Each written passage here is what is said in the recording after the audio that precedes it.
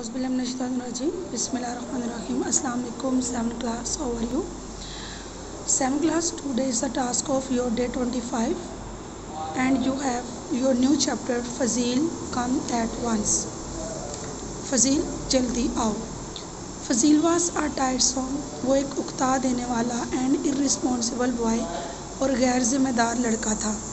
As he would not listen to his mother वो अपनी वालदा की नहीं सुनता था and keep playing till late और बहुत देर तक खेलता रहता था।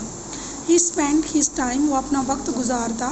Go to the bottom of the garden to play with the rabbits and water flowers वो खरगोश के साथ बाग में और पानी में फूलों के साथ खेलने में अपना वक्त गुजारता।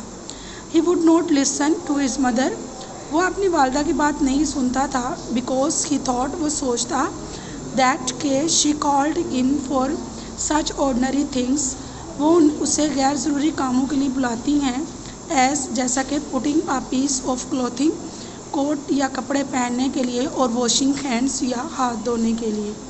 You have to read till there आपने यहाँ तक इसको पढ़ना है। And now you have two questions your question number one is what kind of fazil was and your question number 2 is where and how would fazil spend his time outdoors? You will find answers in your reading. Allah hafiz